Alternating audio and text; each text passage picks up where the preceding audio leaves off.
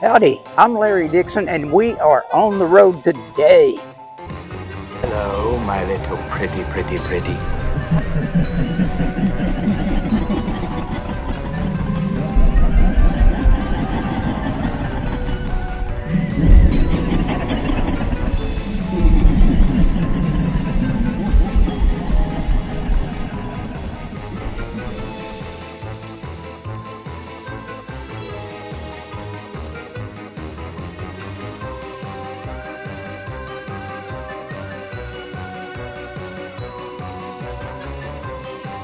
And yet, on All Hallows Eve, they walk among us.